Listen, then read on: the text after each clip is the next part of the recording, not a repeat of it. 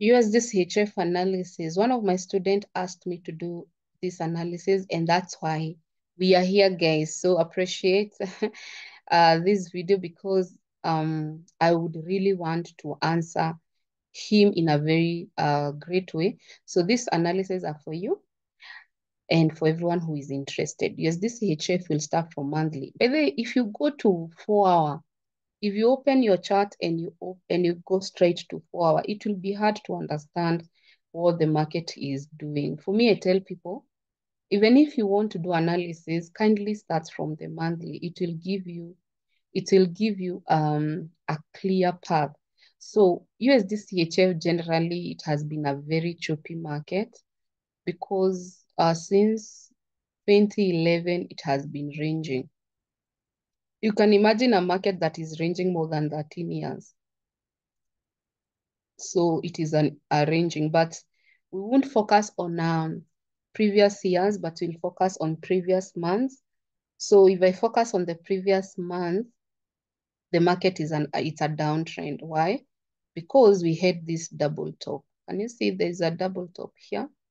We have this double top, very clear double top. And then this double top this happened to be our neckline.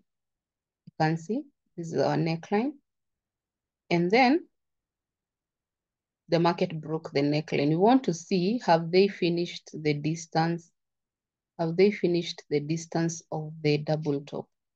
Because guys, I keep saying half the distance is what is guaranteed, but the, the complete distance is not guaranteed. So we want to see, did they finish half the distance. Oh, they have a long way.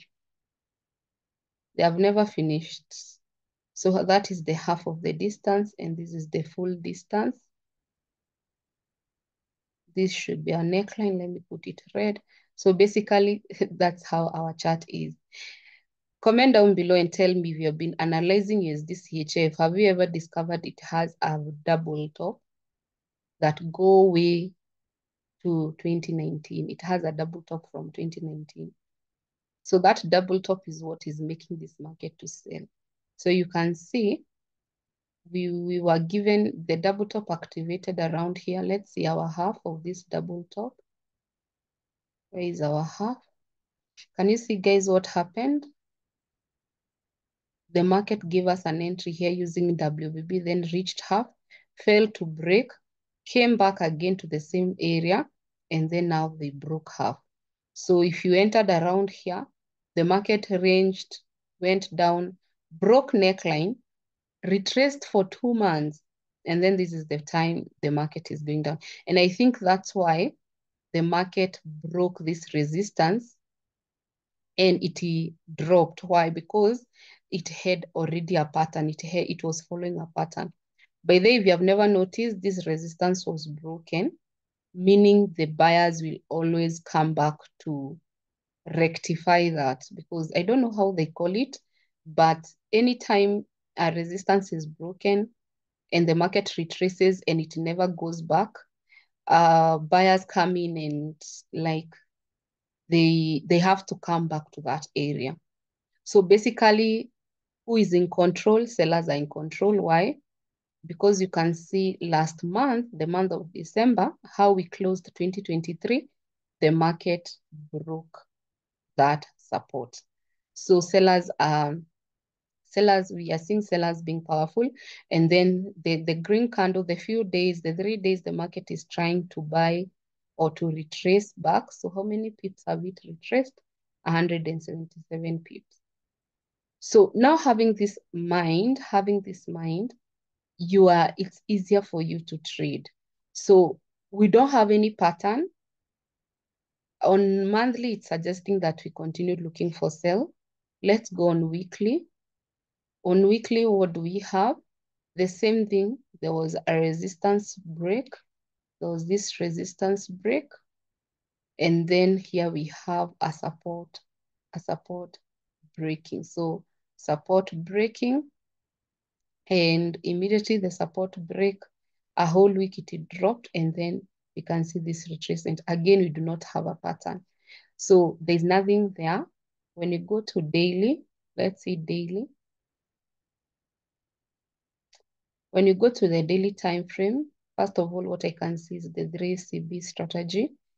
3CB strategies for my students. So if you're interested, you can buy my course and you'll get that strategy. 3CB, 3CB strategy happened there. And I think um, we got, I was in this trade, we got 50 pips already. And again, we do not have a pattern because the market is on a downtrend. So the question is, do I hope in this sell and sell or what should I do? So that's the, the question that many people are asking themselves. Do I enter? Do I enter immediately or what should I do? But if I go to four hour, finally, I have something that I've been looking for. And this is a pattern, guys.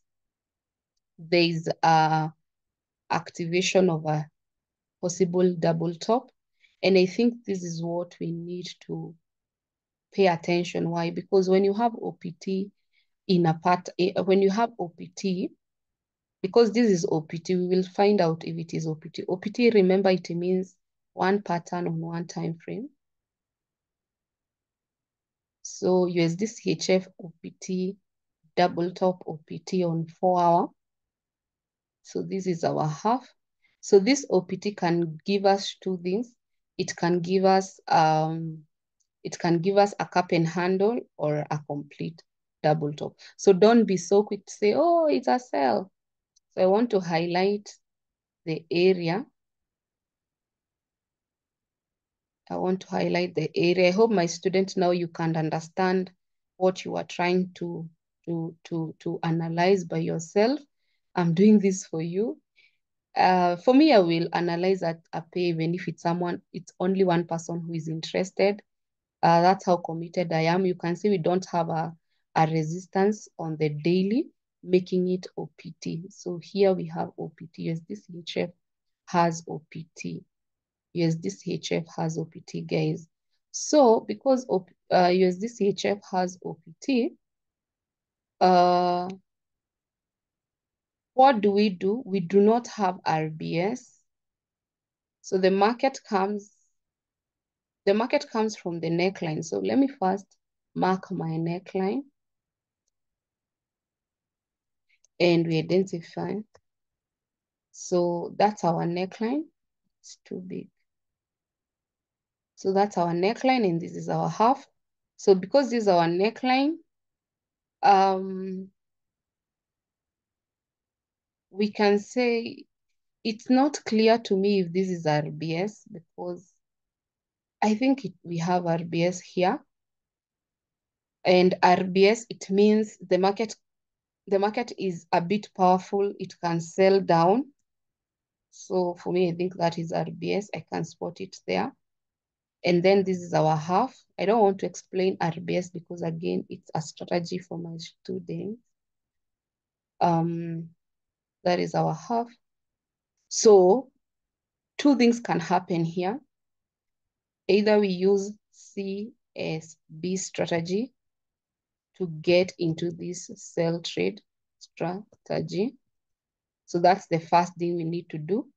We get, we do CSB strategy and we need to identify support like we have here. These are current support at the moment.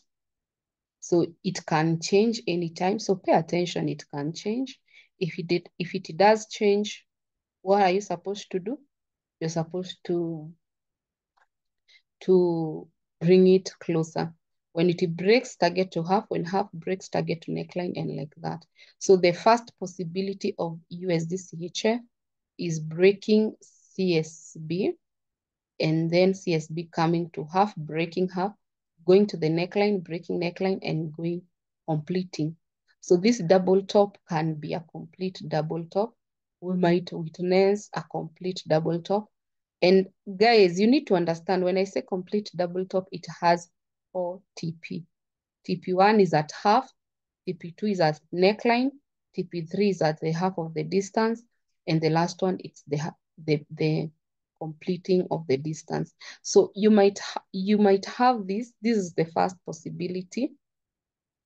Um, the market might like that. And then you you might have a cup and handle.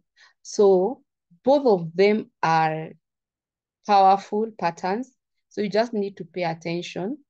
You just need to pay attention on what will happen.